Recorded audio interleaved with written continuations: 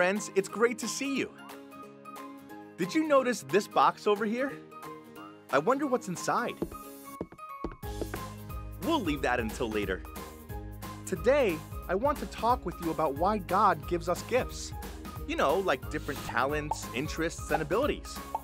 God gave us different gifts so we can show others that we love them.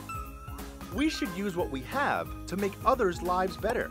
That's why we all have different kinds of gifts, because we all need different kinds of help. Sometimes we need to be comforted. Sometimes we need to laugh. Sometimes we need good food to eat. Sometimes we need someone to pray for us. Think about it this way In the Bible, a guy called the Apostle Paul wrote a letter telling his friends how the church, you know, everyone who follows Jesus, is like a body. You know how the parts of your body do different things? You use your ears to hear, your mouth can sing songs or tell stories, your stomach digests all the yummy food you eat, and you use your brain to think.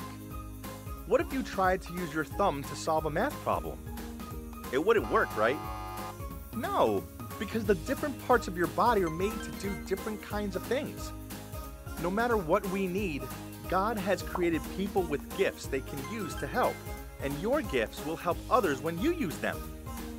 Let's say it together so we don't forget. God uses my gifts to help others.